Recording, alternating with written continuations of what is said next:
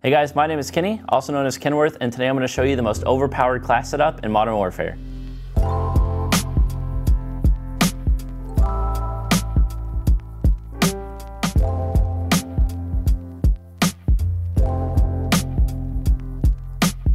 Alright guys, so this is the most overpowered loadout in Modern Warfare, in my opinion, that you could probably put on. Obviously, there's a lot of other things you can do, riot shield, throwing knife, whatever you want. There's a lot of combinations in this game that are super OP, um, but I think one of my favorite ones is obviously the 725. This gun is just insane. Even after the nerf, it's still really good. Honestly, any shotgun for that instances, uh, you know, you can throw on this class. But uh, so I have on the barrel, we have increased range and suppression with the monolithic suppressor.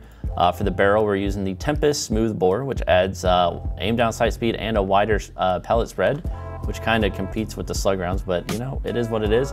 Uh, the stock here, we got movement speed and aim down sight.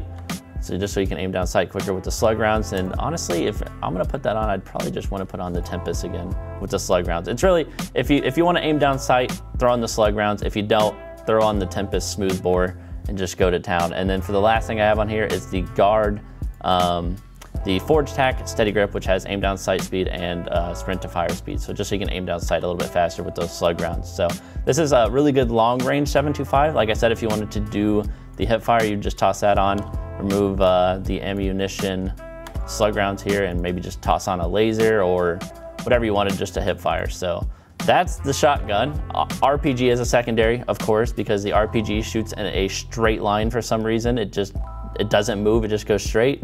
Um, for the perks we got on EOD, uh, to dodge bombs, we got restock on for our proximity mines, and we have tune up on to uh, charge our field upgrade a little bit faster, which you can use any field upgrade you want.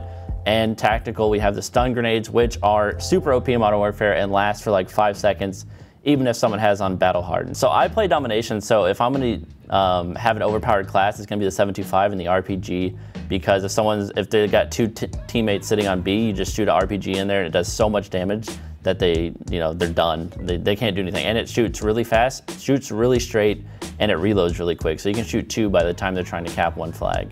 So I picked up proximity mine this time because the Claymore's got a huge nerf. Although they're still really good, if someone has EOD, it won't instant kill them, and with proximity mine, it does a little bit more damage. If they crouch, they'll survive, but a lot of people actually don't see these, and it just, um, it's a better Claymore in my opinion. This is the most overpowered class I could think of.